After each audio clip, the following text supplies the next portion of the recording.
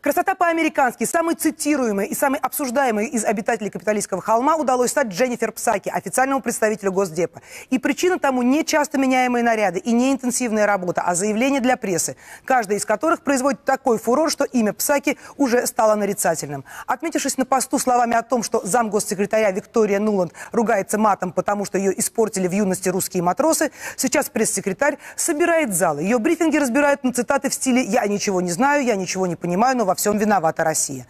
В интернете уже серия анекдотов, как заявила Псаки. Таких, как «если Белоруссия вторгнется на Украину, шестой флот США будет немедленно переброшен к берегам Белоруссии». То, что у Белоруссии нет берегов, Госдеп не смущает, как заявила Псаки.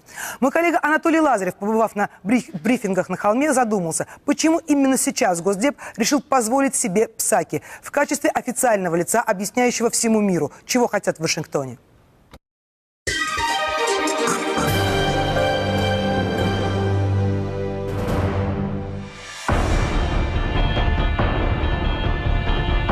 Два флага, два монитора и кафедра на едва заметной сцене. В маленькой комнате, как правило, не больше пары десятков человек, но о таком зале мечтает любой артист разговорного жанра. Слово, сказанное здесь, разлетается по всему миру. И несет это слово внешней политики США официальный представитель Госдепа Джан Псаки.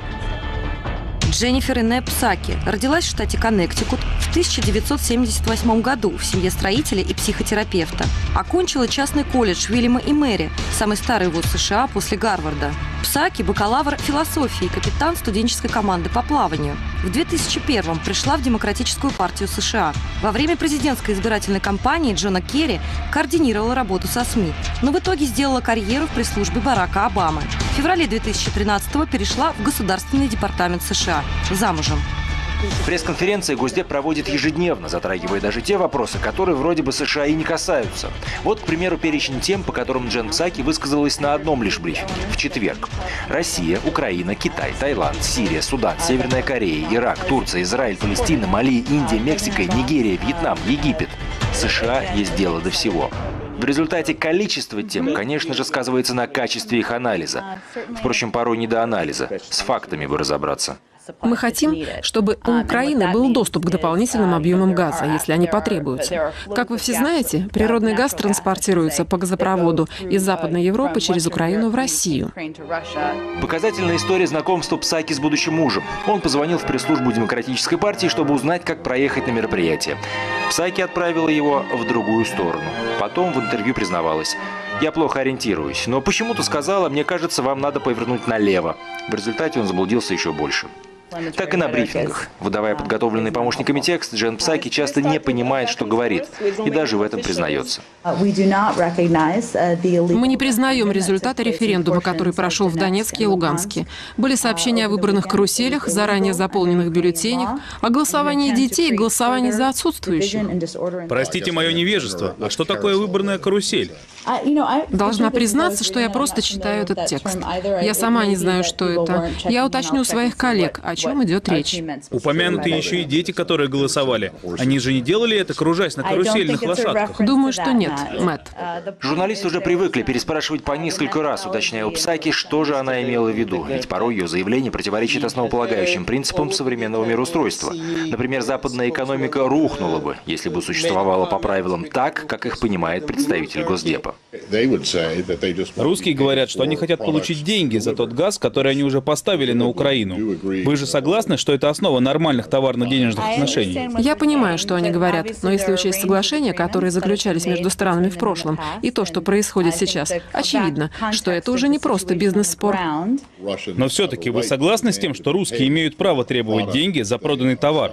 Мэтт, я с радостью разберусь в этом вопросе, когда вернусь к себе в кабинет. Мне надо уточнить, и давайте вернемся к этой теме позже. Фразы, которые журналисты слышат от представителя Госдеп регулярно. Недавно она не смогла назвать ни одного значимого достижения американской внешней политики в бытность госсекретарем Хиллари Клинтон, хотя эту тему на брифинге Псаки затронула сама. Про неудобные вопросы и говорить нечего. Совпадение ли это, что оба раза украинские власти посылали войска в Восточную Украину сразу после визита в Киев высокопоставленных представителей США? Первый раз это был Джон Бреннан, а теперь это вице-президент Джо Байден. Байден посоветовал так действовать, или это совпадение? Я думаю, что вы просто повторяете слова министра иностранных дел Лаврова. Ну а ваш ответ какой? Следующий вопрос. Впрочем, не только журналисты, но и сам Госдеп часто ставит своего официального представителя в неловкое положение. Пример тому – фотографии бородатого мужчины в камуфляже, взятые из интернета и которые Вашингтон назвал доказательством присутствия на востоке Украины российских войск. А насколько вы уверены, что на этих фотографиях люди, которые имеют отношение к России? Эти фотографии обошли все мировые СМИ. Они были в Твиттере, и они находятся в открытом доступе. На снимках мы видим, что эти люди, судя по внешним признакам, явно явно имеют отношение к России. И это вы называете доказательством? Но вы же не хотите сказать, что правительство США со всей своей разведкой и так далее теперь зависит от фотографий, которые выложили в интернете? Эти снимки из открытых источников. Выводы делайте сами. Тему тут же подхватили юмористические шоу. Даже сами американцы подняли Госдеп на смех. Really? That's your evidence? Что, серьезно? Это и есть ваше доказательство? Толстый мужик с бородой?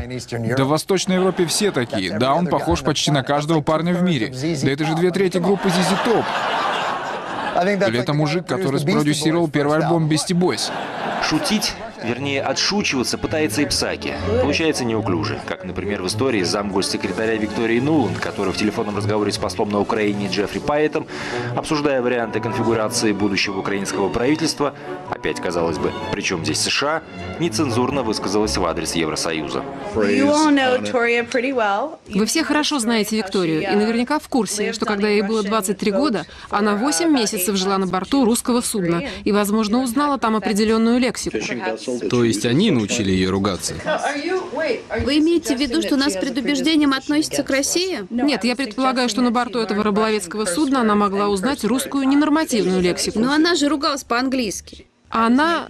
Ладно, это я пошутила. А, ну понятно. Это было бы смешно, если бы не было так грустно. В Госдепе явный кадровый голод, считают аналитики, и отмечают, что специалистов по России особенно не хватает. Молодые кадры предпочитают арабское или китайское направление, а старые мыслят категориями еще холодной войны. Результат налицо. И теперь вопрос, что Америке делать со всем этим? Какой самый дурацкий вариант вы можете придумать? Мы должны принять тактическое решение вооружить окружить Киев, дать им 100 танков Т-72 из запасов НАТО. Мы это уже сделали, а пророссийские бойцы их отняли и теперь развлекаются на парковке магазина. У Вашингтона сейчас нет продуманной политики в отношениях с Россией, считают эксперты, потому что банально некому думать о перспективах. Решения принимаются в зависимости от ситуации, а она меняется стремительно. В администрации Обамы не успевают просчитывать последствия.